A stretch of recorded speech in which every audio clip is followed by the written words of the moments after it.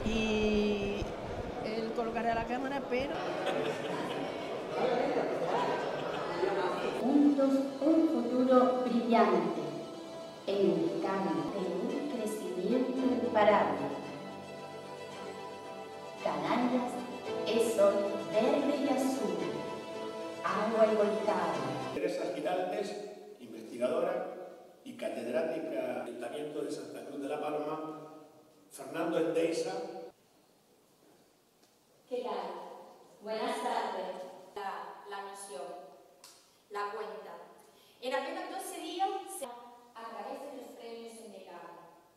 En decano, en mayúsculas para los que trabajan de manera incansable con la cámara, que es ingeniero y jubilado de Endesa. Por eso pusimos de acuerdo eh, las distintas administraciones, pues pudimos un 31 de diciembre, hace 130 años.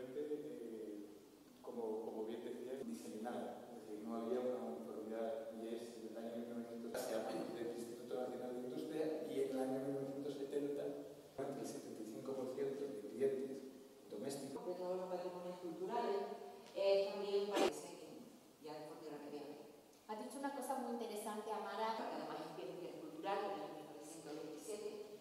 Un poco para hablar de la historia de aquel momento, quizás ya en 74 empezaron a aparecer las primeras contratas. Una que haya salido a trabajar le comentaba a los técnicos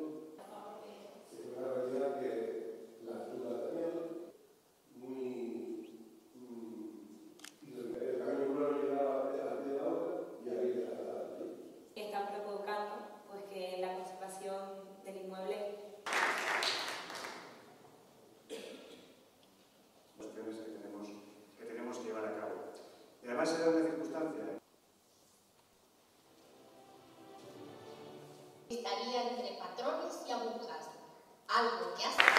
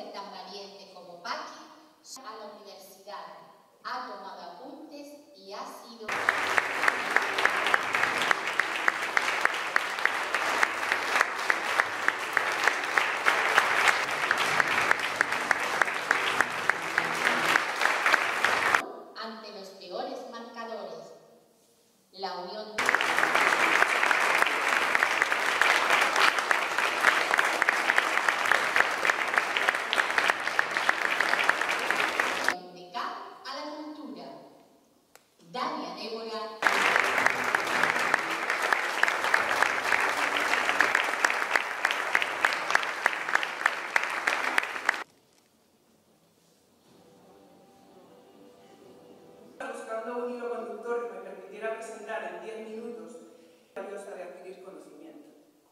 En definitiva, la cultura. Si la sociedad es formada e informada en diversidad, Durante la fase del, volcán de La Palma fue un apoyo el aprovisionamiento de combustible para que deriven unos buques.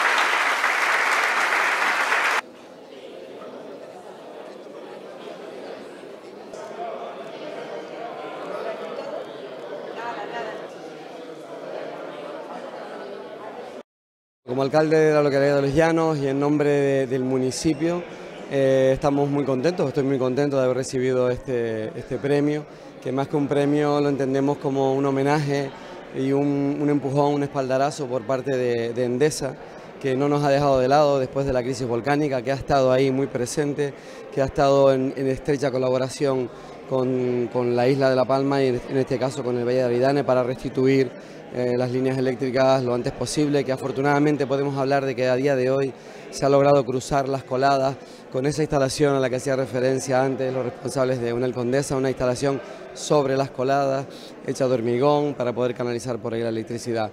Insisto que nosotros tenemos, tenemos un plan, un plan de sostenibilidad turística basado en cuatro ejes, la transición verde, la transición digital, la competitividad y la eficiencia energética.